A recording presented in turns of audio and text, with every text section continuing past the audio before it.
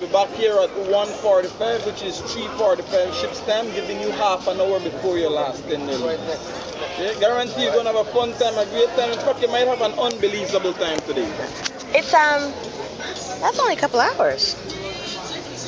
It's four hours total.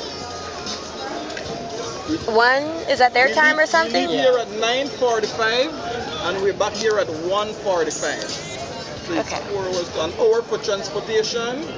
We, we snorkel for about for, for about an hour and then we spend the rest of the time on the island.